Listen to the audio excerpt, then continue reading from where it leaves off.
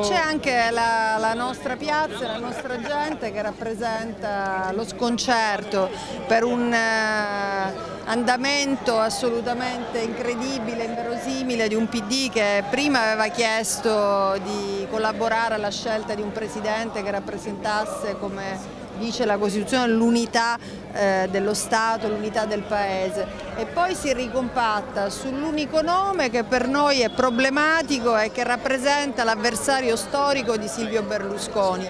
Noi non ci stiamo, noi non partecipiamo al voto e, e, e diamo il senso di, di, di un'opposizione a una scelta che al contrario, anziché rappresentare l'unità del Paese, divide il Paese. Forse rappresenta l'unità per il PD, ma di sicuro va contro gli interessi del Paese. Abbiamo illustri personalità eh... Voi ancora però non avete proposto un nome? State guardi, si vada per una donna, cioè vogliamo davvero il cambiamento, insomma, non credo che Romano Prodi eh, sia, sia, il cambiamento. Sicuramente è un candidato nuovo, è una donna ed è una persona di assoluta responsabilità ed è percepita da tutti come una figura di garanzia, di buonsenso, di responsabilità.